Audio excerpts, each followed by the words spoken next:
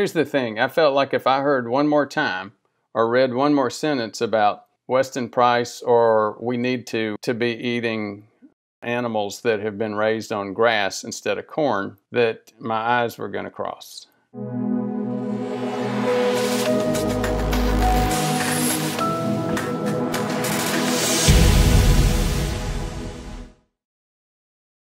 So, what's all this buzz about K2? Sometimes it feels like there's a lot more heat than light around this subject. I recently read that book, um, Vitamin K2 and the Calcium uh, Paradox, by the, uh, the lady from Canada who's got a doctorate in nutrition. And here's the thing I felt like if I heard one more time or read one more sentence about Weston Price or we need to, to be eating animals that have been raised on grass instead of corn that my eyes were going to cross. Let's not throw the baby out with the bathwater. When you start actually digging into the science behind some of these issues, there's some very interesting science there. And we're going to cover uh, just the beginning of, a, of an early side story around the science in this, in this video. It's going to start with a discussion about an article from a standard American Medicine Cardiology Journal, the Journal of the American College of Cardiology, JACC. This article was in 2015 in June. I'll show you that in a minute. But here's the title, and it's intriguing given the, the topic we're talking about. Vascular calcification, arterial damage, and decline in renal function may be triggered by the inhibition of the vitamin K dependent protein matrix gamma carboxyglutamic acid, GLA MGP, by vitamin K antagonists. Maybe we can simplify that just a minute. Basically, the story is this. We have known for a long time that people on K1 inhibitors, specifically warfarin, tend to get a significant, a lot of increase in calcification of their arteries. Now, what's that got to do with K2? I'll leave that for a little bit later, but it does. And uh, I'll tell you this, it's uh, uh, some of that connection has to do with GLA, the, the um, matrix uh, protein. But let's not get too far ahead of ourselves. Again, where was that article? Uh, Journal of um, the American College of Cardiology, June 16, 2015. Translate. Basically, what they're saying is MGP, this protein, has a significant impact on deposition of of uh, calcium is also impacted by an enzyme called matrio, uh, matrix GLA protein. That matrix GLA protein is impacted by vitamin K. In fact, it's dependent on vitamin K. So, guess what? In addition to blocking things like warfarin, when they block vitamin K1, they block the K1's ability to change this GLA protein. In other words, this calcification depends on a protein called MGP, matrix GLA protein. That protein, uh, in turn, is activated by vitamin K. Vitamin K, in turn, if it's deactivated by warfarin, then takes you back to where you're starting to get a lot of calcification. That's the basic point.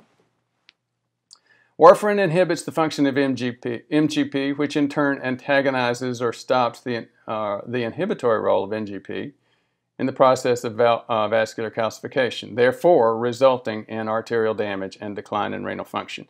If that still sounds uh, a little bit confusing, maybe this next couple of images will help.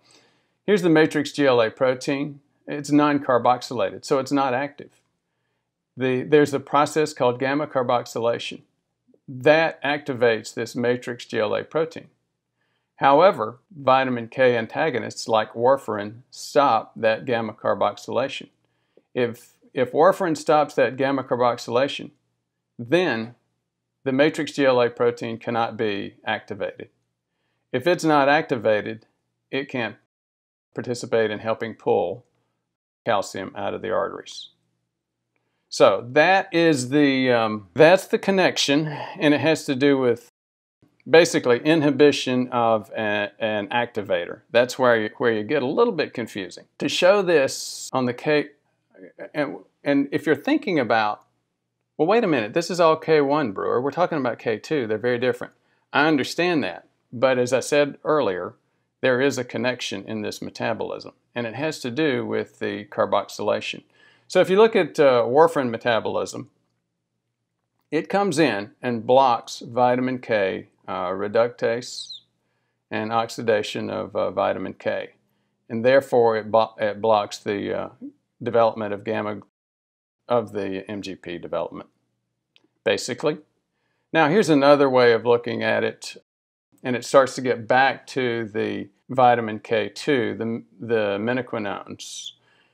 The matrix GLA protein, remember that? And if you're thinking, Brewer, those are very, that's an ugly image, I understand that. No, no apologies. Uh, that matrix GLA protein. UC means uncarboxylated.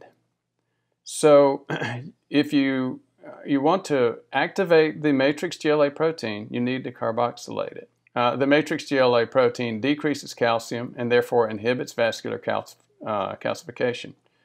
We're going to study in other uh, videos. We're going to look at osteocalcin, which is a different um, enzyme, it does exactly the opposite of matrix GLA protein. When it is uh, functioning, it increases calcification and actually promotes bone mineraliz mineralization. So matrix GLA protein pulls it out of the vascular area and osteocalcin puts it in the bone. Now, this has probably been a little bit much in terms of um, trying to get the connections. I, I will cover, we'll do several other videos in this area. I just wanted to uh, show the science is, again, is also pretty clear on these uh, actual enzymes. This, for example, is the, the actual uh, amino acid series involved with the protein. So that is a that is the protein itself, GLA protein matrix GLA protein in amino acid format. So again, maybe this was a little bit confusing. I hope not. Uh, it's just the first in a series that I'm going to be doing on K2. Actually, it's not the first. I'm, I'm doing another series on K2.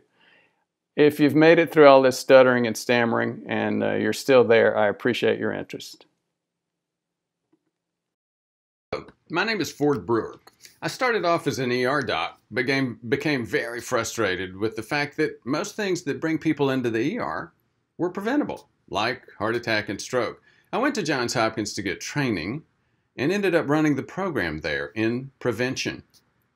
There I trained dozens of docs, and again, that was three decades ago. Since then, I've trained thousands of docs. And even more importantly, um, supervise those docs, and even most importantly, helped thousands of patients prevent things like heart attack and stroke. Uh, waiting for, a, for the disease and hoping for a cure for this kind of devastation doesn't work. Come to uh, Louisville no, November 8th and 9th. We have a boot camp type of environment for two days where you learn all the things that you didn't learn from your doc in terms of heart attack, stroke prevention. Things like cardiovascular inflammation, how to detect it, how to measure it, things like uh, insulin resistance, the number one cause of inflammation, how to detect it, how to measure it, how to stop it, how to manage it. You also get, um, you can get the labs there if, um, for that event if you'd like and get a complete evaluation. In addition, you get an arterial scan called a CIMT. To get the right one of those is fairly difficult. So I'm looking forward to seeing you there. Thanks.